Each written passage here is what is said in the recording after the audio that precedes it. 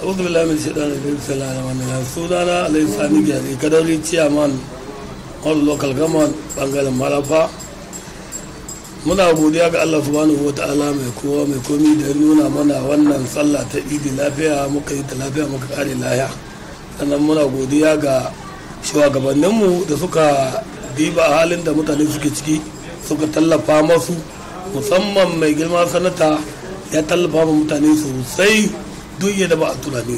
Sannan mai girma jagora na apc tsohon gwamna abdulaziz yari shatiman mafara shi ma ya iya abun da duk ya kamata ya yi ya yi. Muna godiya a madadin mutanen molo local government. Muna godiya allah ubangiji shi saka masa da mafifici alheri. Allah shi biya da buƙata. Ubangiji allah ya kai ga inda duk aka nawa. Allah ya tabbatar mana da alheri. Mun gode. Mun gode a madadin molo local government. Ina godiya allah ya saka da alheri. Mun gode mun gode.